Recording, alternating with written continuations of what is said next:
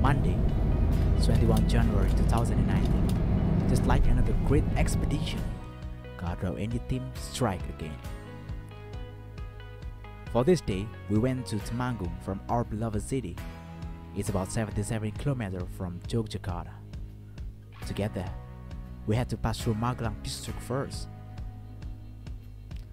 This event has the same purpose with our previous journey introducing Shell Eco Marathon to people and motivating your generation to reach their bright future.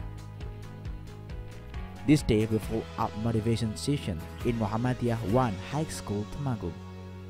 For the students attend this event, they were so excited. We gave some knowledge about college life and the way to success.